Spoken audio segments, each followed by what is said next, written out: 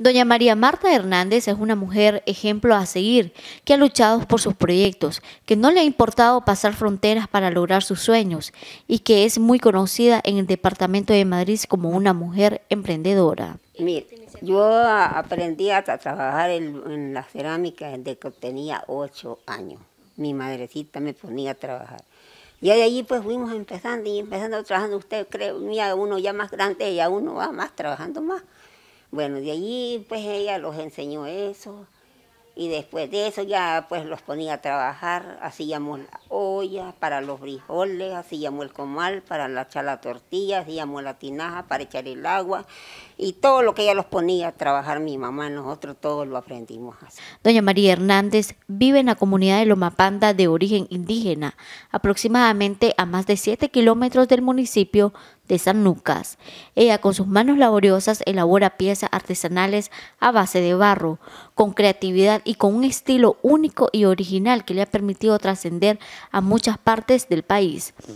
Mire, yo hago pues todos los floreros, hacemos los floreros, hacemos las muñecas, esas muñecas no, todas las hacemos, pues todo lo que hace el uno hace el otro.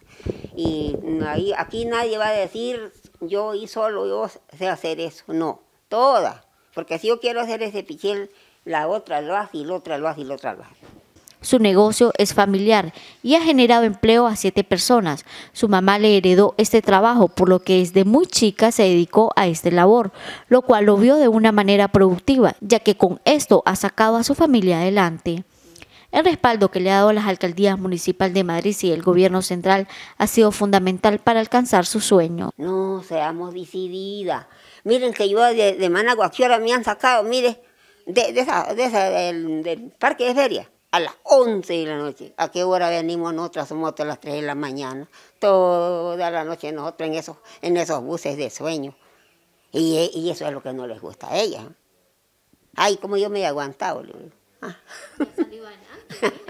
Yo me he aguantado, le digo. Y miren, aquí estoy, le digo. Les informó Tania Obando lo que se vive.